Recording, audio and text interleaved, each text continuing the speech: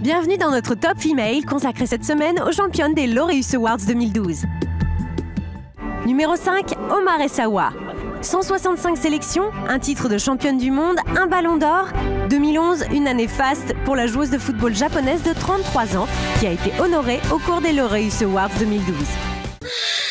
Numéro 4, Maria Rich. En 2011, la skieuse allemande a remporté le seul trophée manquant à sa carrière, le gros globe de cristal du classement général de la Coupe du Monde. Elle a aussi épousé son manager Markus Hoffel. Numéro 3, Petra Kvitova. La joueuse de tennis tchèque de 22 ans s'est révélée en 2011. Pour sa première participation au tournoi senior de Wimbledon, Petra fait sensation et soulève le trophée. Elle termine la saison à la deuxième place mondiale. Numéro 2, Yanni Tseng. La taïwanaise est la reine du golf. À 23 ans, elle a fait mieux que Tiger Woods ou Seri Pack à leur âge. Elle compte déjà 5 titres du Grand Chelem à son palmarès, dont 2 acquis en 2011.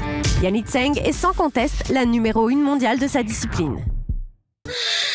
Et la championne de l'année des Laureus Awards 2012 est Viviane Cheruiyot. La coureuse de fond kenyane a marqué les derniers championnats du monde d'athlétisme à Daegu, en Corée du Sud. Viviane Cheruiyot a réussi l'incroyable performance d'être sacrée championne du monde sur 10 000 mètres, puis sur 5 000 mètres 5 jours plus tard.